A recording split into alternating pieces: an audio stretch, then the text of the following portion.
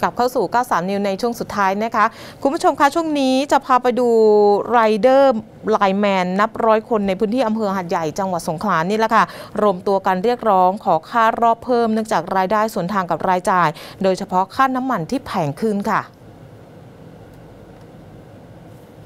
เมื่อวันที่ 7 กุมภาพันธ์ที่ผ่านมานะคะ ที่บริเวณบึงสีภูวนาถถนนสีภูวนาถเขตเทศบาลนครหาดใหญ่จังหวัดสงขลาค่ะ ได้มีกลุ่มไรเดอร์ไลน์แมนในพื้นที่อำเภอหาดใหญ่กว่า 100 คน พร้อมรถจักรยานยนต์ได้มารวมตัวกัน เพื่อที่จะเรียกร้องค่าตอบแทนเพิ่ม เนื่องจากค่าน้ำมันแพง งานเท่าเดิม และจำนวนไรเดอร์ไลน์แมนที่เพิ่มขึ้นด้วยทำให้รายได้ลดลงสวนทางกับรายจ่ายนะคะ ค่าครองชีพก็พุ่งสูงขึ้นด้วยค่ะ โดยเฉพาะต้นทุนค่าน้ำมันตรงนี้สูงจริง ๆ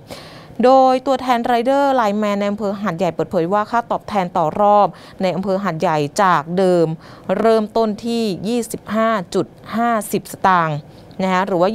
25 บาทจุด50 สตางค์นี่นะคะก็บวกเงินขยัน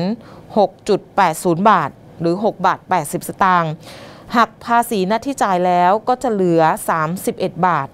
33 สตางค์แต่ตอนนี้ได้มีการปรับเปลี่ยนลงมาเหลือ 28 บาททวน เมื่อหักภาษีหน้าที่จ่ายแล้ว เหลือ 27 27 บาท 16 สตางค์